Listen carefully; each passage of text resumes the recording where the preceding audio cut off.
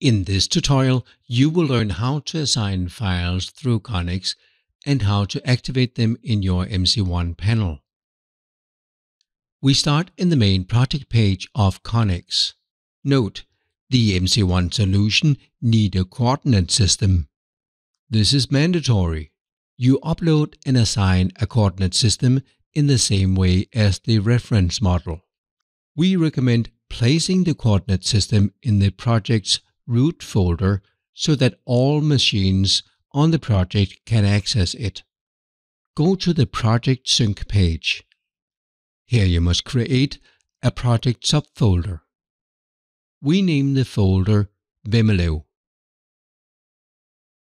Make sure to select the folder. Press Upload. Press Choose Files. Navigate to the file location mark the desired files and press Open. Press Upload. We recommend assigning the entire subfolder to the specific machine type. Select the subfolder. Press the Assign button. Select Driller. Press Save. Now let's go to the panel. On the panel, you will receive a message when a new file is available from ConX. To locate the file, press Main menu. Select Models. Select the project you are working on.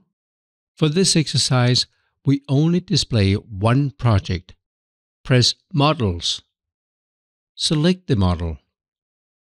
Press OK. Press the X to return to run screen.